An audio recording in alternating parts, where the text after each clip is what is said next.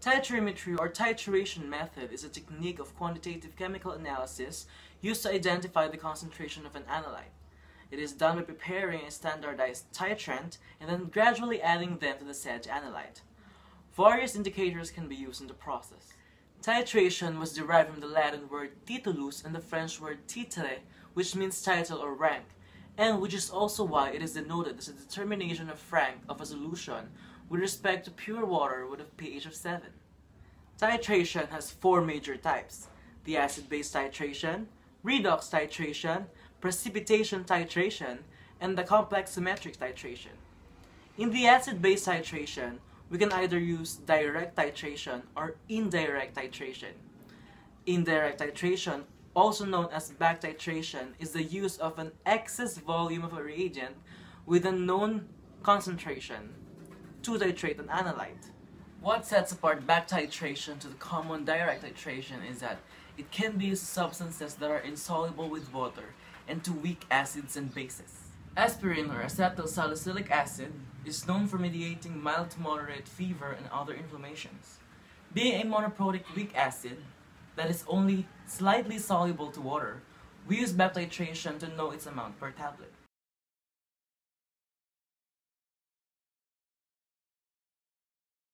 The laboratory apparatus such as beaker, burette clamp, burette, hot plate, pipette, dropper, Erlenmeyer flask, graduated cylinder, iron stand, spatula, steering rod, mortar and pestle, wash bottle, watch glass, weighing paper, and volumetric flask, and analytical balance was provided by the laboratory in Central Luzon State University. The phenolphthalein, aspirin, ethanol, 0.1 normal HCl, and 0.1 normal Sodium hydroxide was used as a reagent in this experiment. Six aspirin tablets were accurately weighed using the analytical balance and pulverized using mortar and pestle and obtained 2.0 grams tablet powder. The powder tablet was accurately weighed to the nearest 0.5 grams and placed into three labeled 250 ml Erlenmeyer flasks and each flask was added with 20 ml of ethanol and 3 drops of phenolphthalein indicator and swirled gradually. Titration of aspirin with 0.1 normal sodium hydroxide. The burette was filled with standardized 0.1 normal sodium hydroxide solution and the initial volume was recorded. The first aspirin sample was titrated with sodium hydroxide to its permanent cloudy pink color, and the volume of sodium hydroxide delivered was calculated. Another set of a calculated volume of sodium hydroxide with additional 10 ml was delivered to the same flask of the first aspirin sample and the initial volume of the titrant was recorded. The total volume of the titrant delivered was recorded and calculated. The same process was re repeated to the two remaining replicates, heating the reaction to completion. The flask containing the aspirin sample was heated on the hot plate to speed up the hydrolysis reaction and swirled frequently but not reaching its boiling point. After 15 minutes, the flasks were removed from the hot plate and cooled for 5 minutes. Back titration with 0.1 normal hydrogen chloride. The clean burette was filled with a standardized 0.1 normal hydrogen chloride solution and recorded the initial volume. The first was, with aspirin sample was titrated until the cloudy pink color disappeared and recorded the final volume. The same process was repeated with the two remaining replicates. Data gathering. The mass of the sample aspirin was recorded per replicate. The volume of sodium hydroxide and hydrogen chloride delivered was recorded per replicate. Compared the calculated results of aspirin with that claimed by the manufacturer. The average mass of the aspirin tablet was computed averaging the mass of the tablet computed for each replicate. The following formulas were used. For milligrams aspirin per tablet, it is equal to milligram of aspirin per replicate or the average mass of one tablet divided by milligram of sample per replicate. Where the milligram of aspirin per replicate is equals to millimoles of sodium hydroxide, the molar mass of aspirin, divided by 2. Where the millimoles of sodium hydroxide is equal to ml of sodium hydroxide or the molarity of sodium hydroxide minus the ml of hydrogen chloride, the molarity of the hydrogen chloride. So for the results and discussion, we are to determine the amount of aspirin per tablet. The data we gathered here are the weight of sample, the volume of sodium hydroxide delivered, and the volume of hydrochloric acid delivered. So for replicate 1, we have here 0.505 grams of sample, for replicate 2, we have your 0.5042 grams of sample. And for replicate 3, we have your 0.5046 grams of sample. For your volume of NaOH delivered, we have your 18.70 ml. 18.30 ml, and 18.65 ml for replicate 1, 2, and 3 respectively. Volume of HCl, we have your 3 ml, 2.85 ml for replicate 2, and 3.20 ml for replicate 3. With this data, we can compute now for the millimoles of NaOH the amount of aspirin present per replicate, which will be needed in computing for the amount of aspirin present per tablet. So here are the calculated values we got, we obtained upon calculation. So before we dig in further here, I have to first show you how this data were obtained. So for replicate 1, the data that we are going to use are the weight of sample, the volume of NaOH delivered, the volume of HCl delivered, the molarity of the NaOH used, and the molarity of the HCl used. So to compute for the amount of aspirin tablet, we, we need to first compute for the amount of the millimoles of NaOH. So the formula for the computation of millimoles of NaOH is by subtracting the product of the amount of NaOH delivered to the molarity of NaOH to the amount of HCl delivered to the molarity of HCl. Substituting all the data that we have here to the given formula, we now have 0.0187 liters multiplied by 0.1008 molar minus 0.003 liter HCl over 0.1003 molar of HCl. So if you can see here, the mula, the the amount of volume or the volume of the, the NaOH and the HCl delivered were in liters because the molarity is also equivalent to moles per liter. So to get the moles, we have to cancel that liter unit. So we have to convert first the ml to liters. So now we have, upon computation now, we have millimoles of NaOH for replicate 1, which is equivalent to 1.584 millimoles. After computing for the millimoles of NaOH, we are now going to compute for the amount of aspirin per replicate in milligrams. So the data we're going to use here is the millimoles of NaOH that we get from the first computation and the molar mass of aspirin, which is equal to 180.16 grams per mole.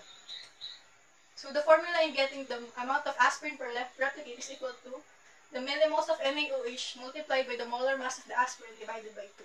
Substituting all the data that we have, we now have 1.584 millimoles multiplied by 180.16 grams per mole, and then we have here the conversion factor, which will serve as a conversion so that we can convert the value into mole, and then cancel it with the given molar mass, which is gram per mole.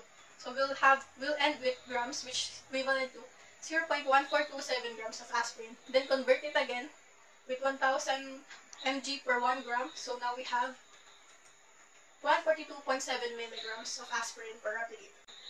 After that, we are now going to compute for the amount of aspirin per tablet. So here we're going to use the amount of aspirin per replicate that we computed a while ago, the average mass of one tablet, which is equal to 0.27465 milligrams, and the amount of sample per replicate, which is equal to 505 milligrams. So we just converted this so that every everything in the data will be in milligrams.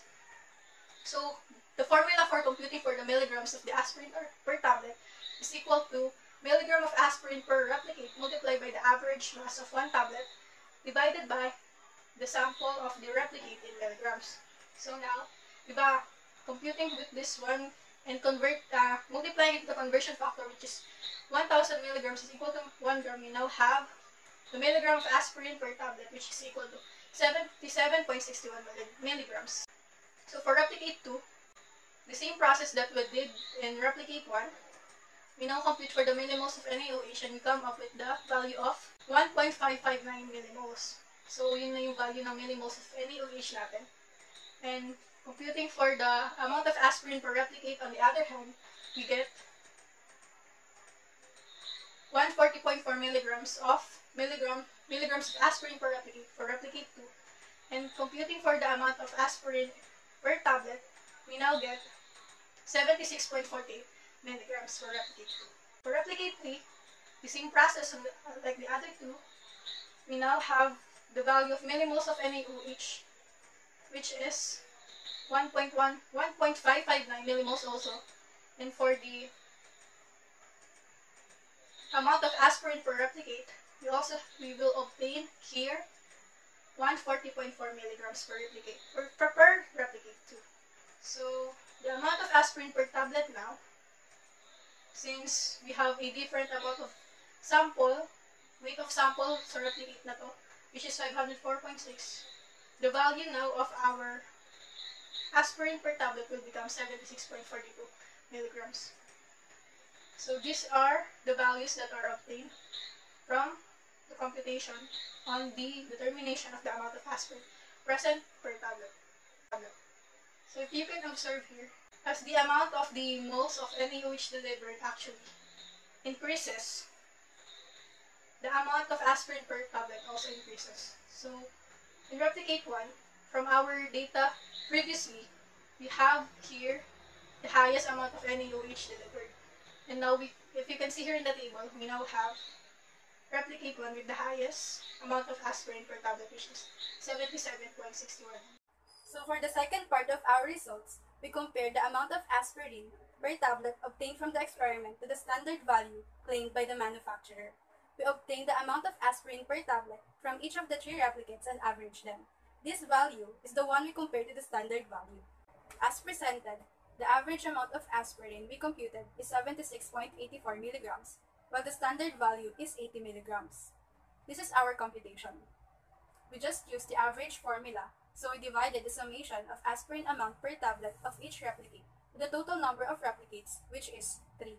To further compare the computed value to the standard, we used ways of expressing accuracy by computing for the percent relative error and percent accuracy. The percent relative error was determined to be 3.95% and consequently, the accuracy is 96.05 percentage. So, we use the percent RE and percent accuracy formula. Percent RE is equal to the quotient of the absolute value and the standard value multiplied to 100. And the absolute value is equal to the difference of the measured and the standard value, which is 3.16 milligrams, while the standard, as mentioned earlier, is 80 milligrams. Employing the necessary operations, we obtained relative error of 3.95. And the percent accuracy is simply determined by subtracting the percent RE to 100% accuracy, giving us 96.05% accuracy. These values will be further discussed in the conclusion, including its implications. To conclude our experiment on the determination of aspirin using back titration, we can say that back titration or indirect titration still follows some basic principles of direct titration. However, its most notable difference is the use of an excess amount of reagent in the titration process. Back titration remains advantageous over direct titration when dealing with substances that are impure or are insoluble with water. It can also easily identify the endpoint of a weak base or weak acid. 3.95% error is present in the results. This might came from the moisture that is present in the instrument's use or in the sample itself. Nevertheless, 3.95% is still within the permissible range of percent error in an analytical experiment, which means that the result of this experiment is of high accuracy.